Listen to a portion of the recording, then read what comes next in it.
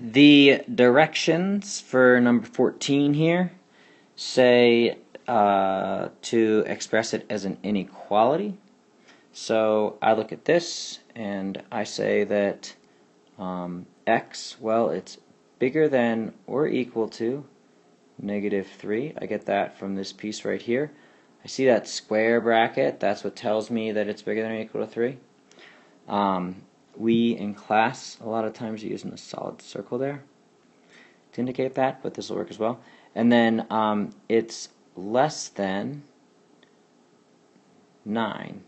We use an open circle a lot, um, but so that, that's how that shows up. I get it's less than, or it's bigger than negative 3 and less than 9.